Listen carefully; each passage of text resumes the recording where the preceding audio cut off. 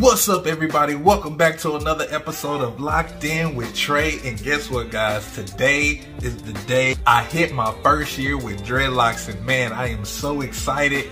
Hey, this is most definitely one for the books. And hey, without further ado, let's jump into some pictures and show y'all from start to now the progress. So let's get into it. Stay locked.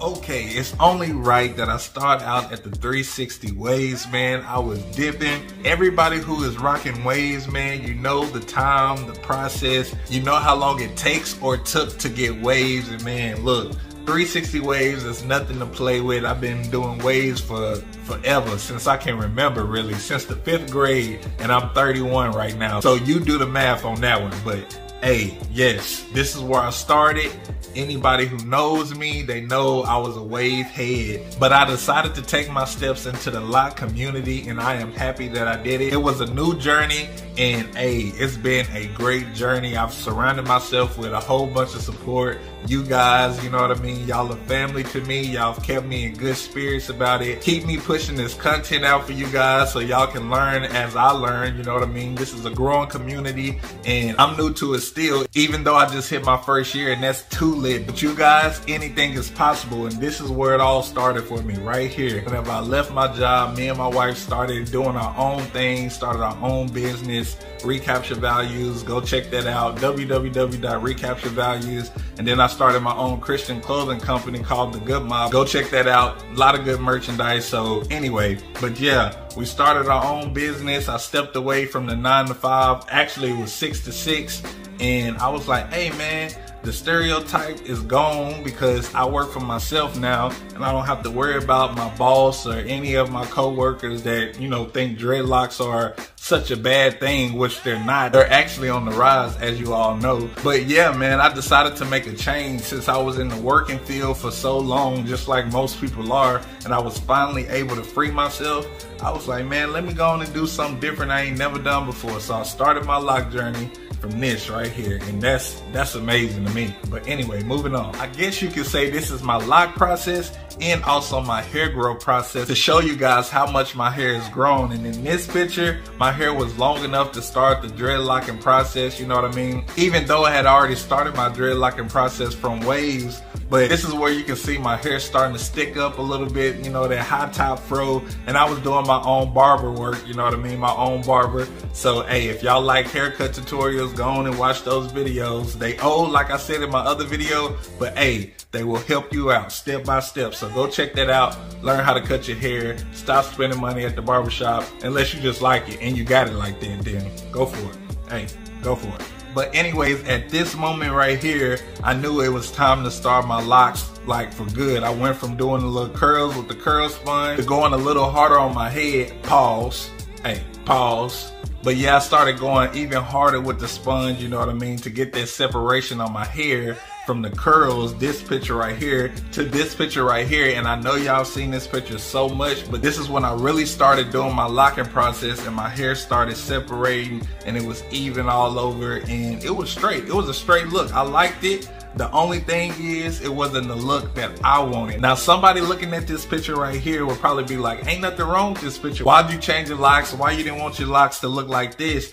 And all I can say is it just wasn't my taste. It wasn't my look. You know what I mean? Yes, it's a cool look. And sure, I could have rocked it. I could have grew my hair out like this, but I wanted the thicker locks. I wanted those Bob Marley, Lenny Kravitz, you know, you know, just my own style. Not too thick, but thick enough. Thicker than this. So I knew I had to go from however many dreadlocks I had in this picture in this picture however many dreadlocks I had in these pictures right here, I don't know, but I knew I had to lessen that number if I wanted the thicker locks because my hair was still short. So I was like, hey, I'm gonna take full advantage of this and redo my dreads and have them to look like they do now. Even though they didn't look exactly like this, you know what I'm saying? We're gonna get to those pictures here after this one. And I'm gonna show you guys exactly how my hair looked when we started this process. And man, rough. And here we are, folks, right here. These are the dreads you see right now today. That picture right there are these dreads that you are looking at. So you can tell just by looking at me right now and this picture right here, how far I've come in the lock game, man. That's crazy. And it's even more so crazy because this length in this picture to what I have now is less than a year because you gotta think I started growing my hair out from waves up until this point has been a year altogether. So from this point right here to this, it's probably been maybe like eight or nine months, you know what I mean? If that, and I know y'all see the length comparison. I mean, look at this. Look at this, you know what I mean? Look at all that. You know what I'm saying? I ain't playing no games when it comes to this. I mean, you see the hang time in the back.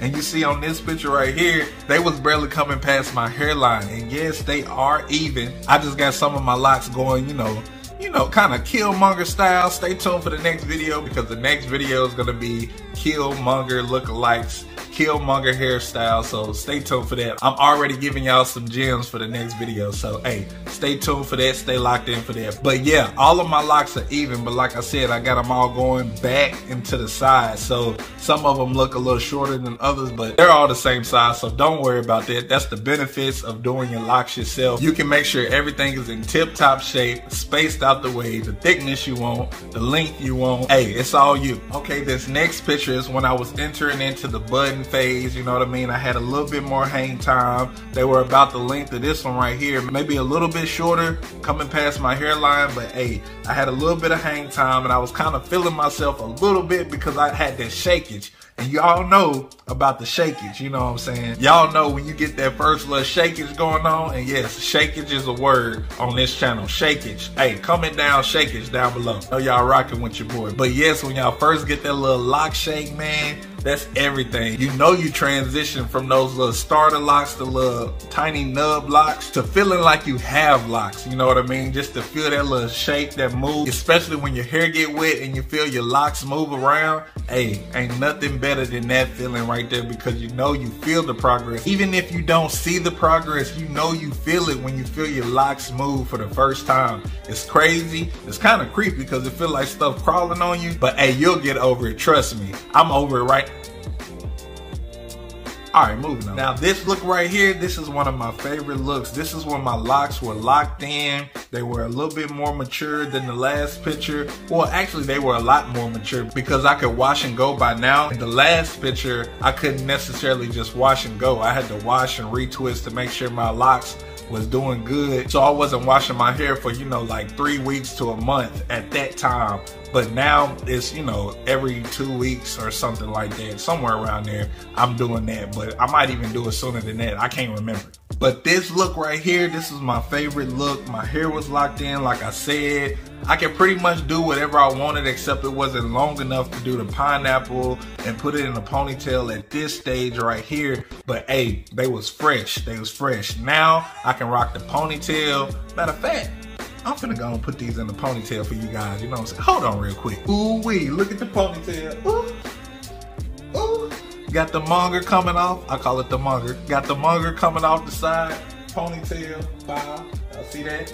Got some length. I couldn't do that before. I could not do that. And if y'all been following me up until this point, y'all know how I always wanted the ponytail, pineapple, braided, something. I wanted to be able to do something with my hair other than just let it hang down. It was time for me to transition out of that phase. I finally did. I got the length and bow, bow, bow. But anyways, guys and girls, I don't want to keep y'all too long. I just wanted to show y'all this update, show y'all how far I've come, and tell you that you can do it too. If you just now starting your locks, you come to the right place. Welcome to Loc'd In with Trey. Hey, this is a growing community, and I welcome every single one of you. Come and get in where you fit in. You are welcome here at Loc'd In with Trey hands down. But anyway, comment down below. Let me know where you are in your phase, whether you just started your locks, whether you're in the button phase, the fuzzy phase, wherever you are, man, comment down below and we'll hash it out, period. And you know what? This year is going to be a good year. And I just feel it that I'm going to hit a thousand subs this year.